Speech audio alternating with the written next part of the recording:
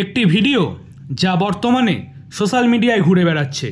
তাতে দেখা যাচ্ছে পাকিস্তানের দুই রাজনৈতিক দলের নেতারা লাইভ টেলিভিশনে বিতর্ক চলাকালীন হাতাহাতি শুরু করেছেন। দুই নেতাই আক্রমণাত্মক হয়ে ওঠেন এবং ঘটনাটি দ্রুত হিংসাত্মক রূপ নেয়। উভয় নেতাকে একে অপরের বিরুদ্ধে গালিগালাজও করতে দেখা গিয়েছে।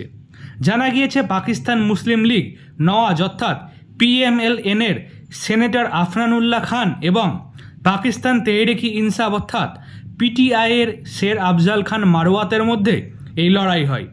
জাভেদ চৌধুরীর এক্সপ্রেস নিউজের টক শো চলাকালীন এই ঘটনা ঘটে এবং নিউজের টক শোতেই এই হাতাহাতির ঘটনা শুরু হয়ে যায়, শো চলাকালীনই। আফনানুল্লাহ পাকিস্তানের প্রাক্তন প্রধানমন্ত্রী ইমরান খানকে গালিগালাজ করার পরেই এই ঘটনা শুরু হয়েছিল। পরিস্থিতি এগোনোর সঙ্গে সঙ্গে মারোয়াত চর মারেন আফনানুল্লাহ খানকে। এরপরেই তারা একে অপরের বিরুদ্ধে মারামারি শুরু করেন।